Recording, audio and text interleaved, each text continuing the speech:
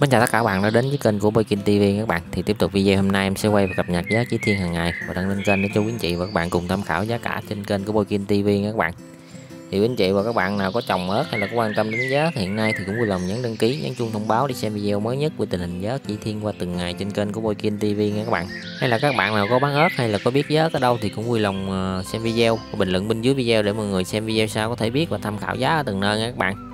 Thì hàng ngày ở bờ kênh Boykin TV sẽ cập nhật một số loại nông sản có ở vùng Châu Ma Hồng Ngự Đồng Tháp để mọi người cùng tham khảo giá cả ở đây ha thì à, do tình hình dịch bệnh diễn ra là khá phức tạp, nên là một số à, nơi à, giãn cách xã hội theo chỉ thị 15 16 của chính phủ. Thì hiện nay huyện Hồng Ngự thành phố Hồng Ngự và một số huyện lân cận ở tỉnh Đồng Tháp mình đây đều đã giãn cách xã hội theo chỉ thị 16 các bạn. Và trên địa bàn xã hiện nay là lập một số chốt nên là việc đi lại vận chuyển hàng hóa của thương lái cũng gặp rất nhiều khó khăn nên là giá cả có thể thay đổi theo tùy nơi, tùy khu vực các bạn. Thì em chỉ cập nhật giá cả ở tại khu vực Cồn Châu Ma Hồng, Ngự Đồng Tháp để mọi người cùng tham khảo giá cả ở đây. Thì à, quay trở lại tình hình giá ớt chi thiên hôm nay là ngày 17 tháng 7 năm 2021 thì à, thương lái mua tại khu vực Cồn Châu Ma Hồng, Ngự Đồng Tháp với mức giá dao động tầm khoảng từ 19 đến à, 30 000 đồng trên ký nha các bạn thì hiện tại ớt của mình ở đây thì uh, uh, theo chủ vựa nói là khu vực ở ở đây thì đã hết ớt bẻ bông rồi. Nên em chỉ cập nhật giá hàng ớt uh, ờ, cổ 3, cổ 1, cổ 2 thôi cho quý vị và các bạn tham khảo giá ở đây. Còn giá ớt uh, bẻ bông thì ở đây hết rồi nên uh, ở đây không có mua ớt này không không phải là không mua mà người ta sẽ tiễn các bạn.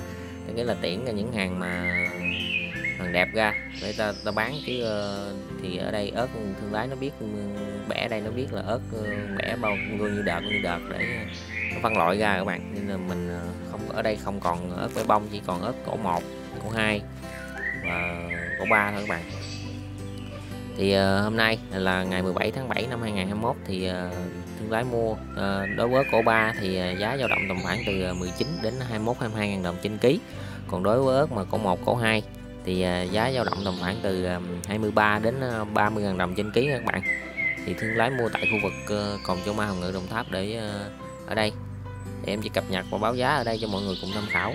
Thì quý anh chị và các bạn nào ờ, có cũng mong quý anh chị và các bạn nào có bán ớt hay có biết chết ở đâu thì vui lòng bình luận bên dưới video để mọi người xem video sau thể biết và tham khảo nha các bạn. Thì do tình hình dịch bệnh thì thương lái mua cũng đối với tùy nơi tùy khu vực uh, tùy loại ớt tốt xấu à, từng được hái từng lứa hái mà có giá cả khác nhau nha quý anh chị và các bạn. Thì em chỉ cập nhật giá tại khu vực ở đây cho mọi người cùng tham khảo thôi. Thì à, à, để mọi người biết và tham khảo giá cả ở đây. Thì cuối video thì cũng cảm ơn tất cả các bạn. Hẹn gặp các bạn trong những video clip tiếp theo ha. Xin chào và hẹn gặp lại.